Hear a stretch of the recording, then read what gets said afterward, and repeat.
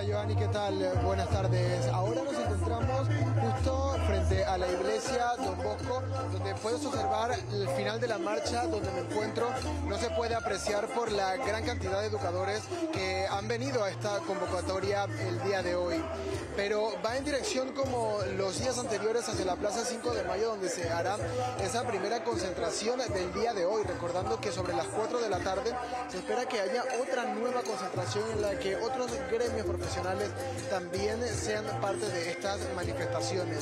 A lo largo de esta marcha que ha salido desde la iglesia del Carmen, punto de partida de estos nueve días de protestas hasta donde nosotros nos encontramos, los cánticos en contra de la corrupción y las exigencias al gobierno por exigencias de contención del gasto, reducción de la planilla estatal y, e instrucciones más claras sobre lo dicho ayer por el presidente en esas declaraciones. Han sido la tónica de las consignas que se han gritado durante esta trayectoria, durante los kilómetros que han tomado esta caminata de la marcha. Como te decía, terminarán en la Plaza 5 de Mayo como lo han hecho durante todos estos días y será la primera de varias concentraciones que se tienen planificadas para el día de hoy.